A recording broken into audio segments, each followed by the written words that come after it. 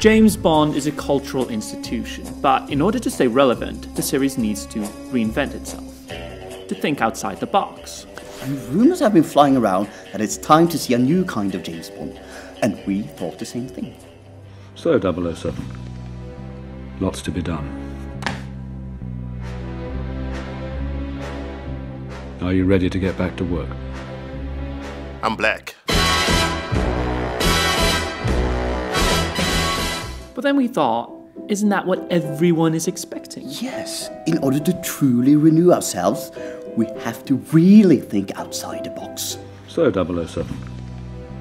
Lots to be done. I'm black.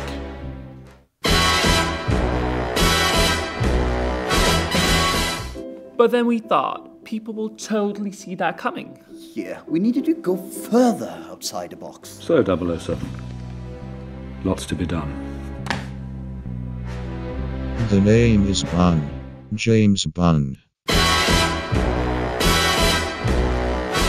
But then, the box, you know. Yeah, we gotta go further outside the box. If the box is Hertfordshire, then we need to be in Lancastershire. Yes, so we present. So, 007. Lots to be done. I'm tired and I need a nap. I saw that coming. Yeah, me too, me too. So, how do we get further from the box? So, 007. Lots to be done. I'm gonna gut you like a fish. I'm gonna go home and I'm gonna eat your kids with two veg and two sauce. But I'm not gonna touch the broccoli. Eh. I'm like a normal person in here. Ugh. Just thinking inside the box. So, 007. Lots to be done. Just do it! Don't let your dreams be dreams.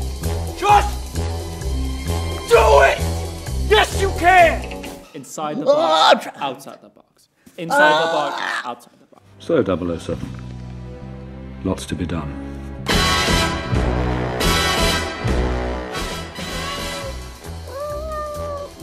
Just gotta throw away the box. Sod off box. Yeah, sod off box. So, 007. Lots to be done.